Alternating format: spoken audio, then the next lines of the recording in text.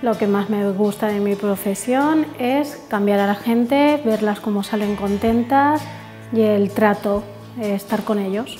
Yo decidí abrir mi peluquería para sentirme realizada en lo que era mi profesión. Lo que me diferencia de otras cadenas o de otra gente como yo es el trato hacia la gente, más cercano. Mi recuerdo especial sobre la pelu es eh, que decidí abrirla para poder realizar mis metas. Lo que más me gusta de Alboraya es la gente y su pueblo. Del futuro espero que se normalice, se estabilice y lleguemos a la normalidad.